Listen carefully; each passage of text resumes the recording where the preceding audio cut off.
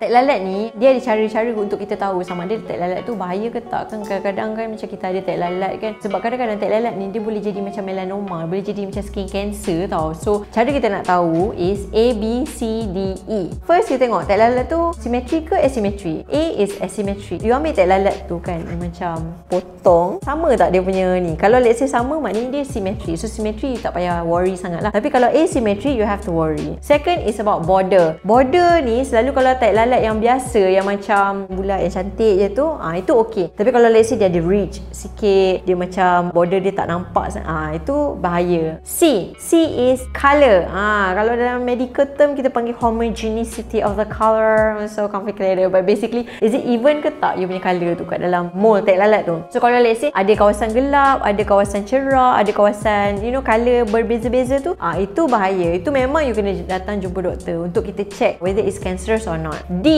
is diameter. Selalunya kalau kurang daripada 6mm should be fine. Tapi kalau more than 6mm, maknanya besar sikit, kita dah kena berjaga-jaga. Tapi ada je kan tak lalat yang besar tu kan semua. Tapi kembali kepada ABC tadi lah. Dia bukan ambil satu je tau. Dia kena combine semua. Finally, the final one is E. Okay, E adalah weather is evolving. Ah, evolving tu maksudnya apa? Tak lalat ni membesar dengan cepat tak? Kalau membesar dengan cepat, ah ni bahaya ni. Kalau tak lalat yang sama kalau macam ni, sama daripada muda sampai sekarang. So dia macam maintain je. So ni this is okay. Dari segi macam kan dia orang kata ada mole mapping tu kan. Kalau macam dekat tangan uh, dapat duit lah apa benda kan. Kalau dekat sini ni macam uh, husband sayang ke apa benda. Tapi for me that's just myth lah basically. Mitos-mitos okay kalau macam uh, you guys tengok uh, those yang a little bit macam on the heavier side ataupun tak pun tak apa memang genetik. You tengok kat leher dia kan ada macam tak lalat-tak lalat yang banyak tu kan. Orang Malaysia akan panggil tag lalat lah. Tapi kita akan panggil benda tu sebagai lebih kepada skin tag. So skin tag ni dia keluar dia dia ada banyak-banyak dekat sini. Kita boleh remove pakai laser je yang tu tak ada masalah. Kalau macam keratosis ke color dia a little bit more different. Actually benda tu lebih kepada technical lah. Yang tu kita kena jumpa lah kot. Ha.